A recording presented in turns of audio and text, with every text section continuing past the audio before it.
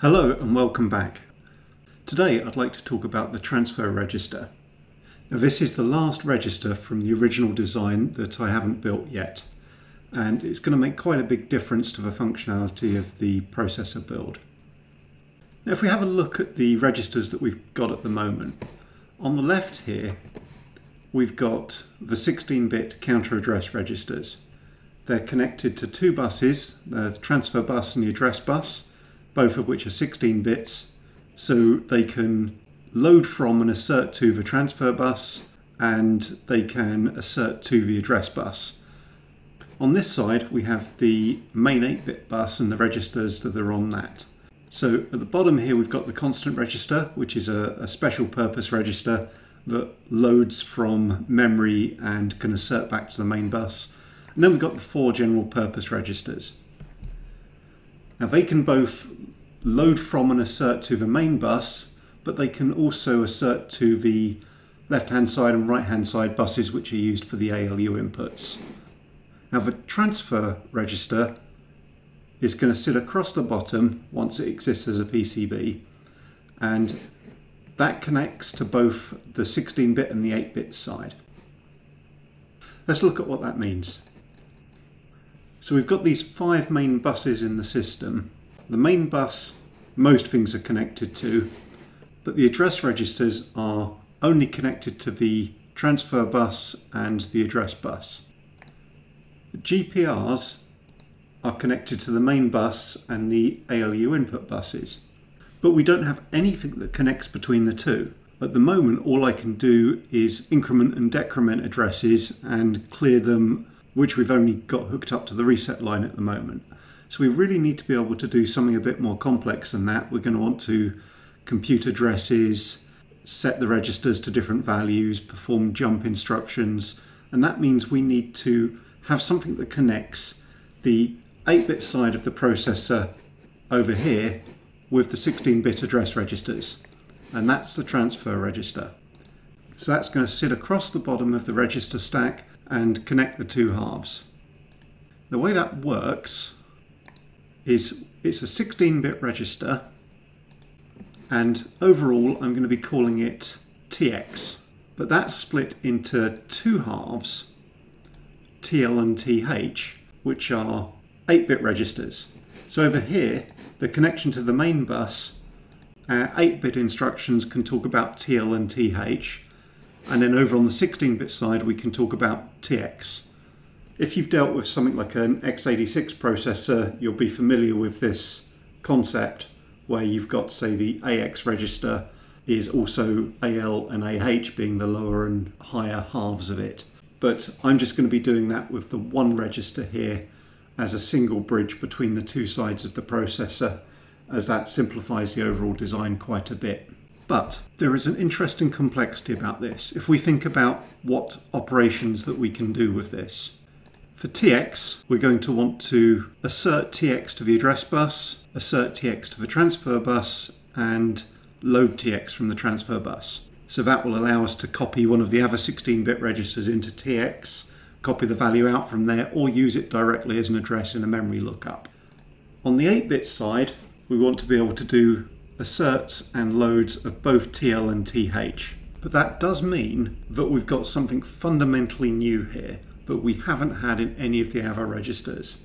If you look at the general purpose register up here, we've got a load from one location and then we can assert back to multiple locations. On the address register, we can load from one location and assert back to multiple locations.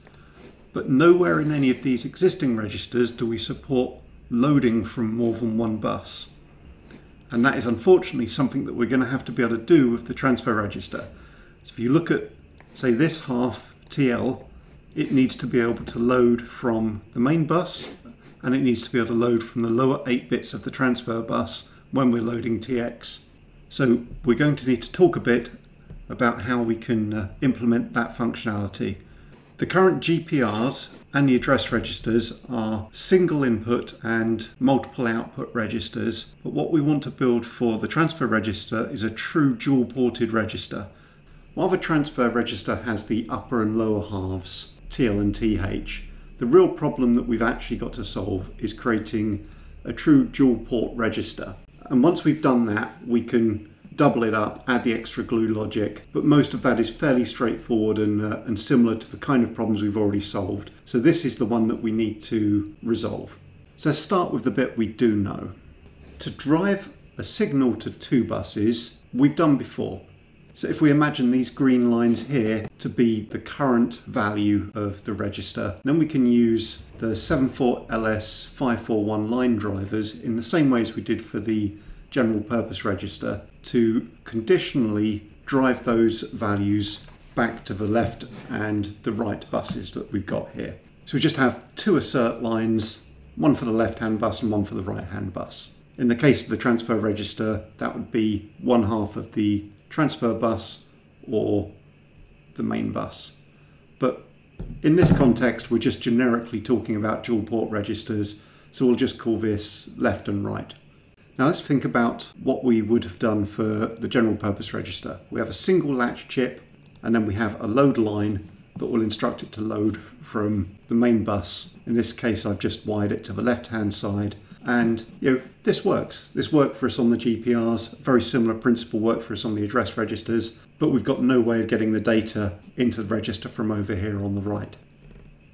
When I was first sat down working through all of the design of this processor, this was one of the bits that uh, I had to focus on for a while. And once I had solved it, I was kind of able to move on and finish off the rest of the processor design. The design I came up with for doing this isn't what I'm actually going to use, but I will talk you through it because I think it's quite clever and it's something that I certainly think I could see a use for on perhaps another build in the future. But an important thing to mention is the way the load signal works. This is what I was imagining. It's these 74LS574 latch chips, they load their data from the inputs on the rising edge. And I was kind of automatically thinking that a load signal would look like this. That is, we'd have a load line that was sat there at ground, would go up to the 5 volts when we wanted the load to happen, and then drop down at the end of the cycle. And the problem with this is it doesn't give us any warning. So if we were trying to make a decision about where that latch chip was going to load from, whether it was going to be the left hand side or the right hand side or whatever we wanted to call the two buses, we had no time to do it in. So I could come up with like an alternate signal that would kind of preempt where the load was going to happen from. But that's kind of adding extra circuitry to the bus control, which I didn't want to do. So I came up with this system. What we do is we have two latch chips. One that on command will load from the left-hand bus and one that on command will load from the right-hand bus. But they both output into the same set of lines but we control them via the output enables. What I came up with is we add a set reset latch and then we wire it up like this. So let's try and describe what's going on here. If we're loading from the left hand bus, we trigger a load here that grabs this uh, data from the left hand bus into this latch, but we're also setting the set reset latch, which means this one is the one that's going to be outputting to the main lines here. We'll see it in the LEDs and that's what either one of these line drivers will push onto the bus if we ask the overall register to assert. But over here, we trigger this load. This one gets loaded, but the set reset latch switches over and is now asserting this one and not this one into what has now become like a, an internal current value bus. Now the awesome thing about this is that we don't need any warning about where the load is coming from. We don't need any extra signals. The loads can work like everything else. But then as I progressed the rest of the build further forward, I kept coming across this odd thing that signals like this weren't very common. Actually, because of the way the demultiplexer chips work, it was going to be far easier to have a load signal that looked like this. So it would actually sit there high. The load still happens on the rising edge, but it sits there high, drops low when we select that register for a load, and then returns to high at the appropriate point. The increment on the counter chips work like this, and the demultiplexer chips seemed particularly well tuned for producing this kind of signal. And when I've looked at other devices and other chips and other circuits, they seem to have signals that work like this. You know, it kind of seemed odd, but I knew I could work with it. But it was only when I came back and started looking at this particular problem again that I realized what I suspect is at least one of the reasons why signals work like this, and that's this is giving us warning. This line going low is telling us that the rising edge is going to come from this line, and so we can make use of that. So we go back to having a single latch chip, but then what we can do is use a set of 2 to 1 multiplexers on the input to basically connect both buses at the same time. And then we just need an input select, which is going to tell us which of these buses to be directing out these sets of lines, and therefore that the, the latch chip is going to load when it receives the load signal. So here's the load signal wiring.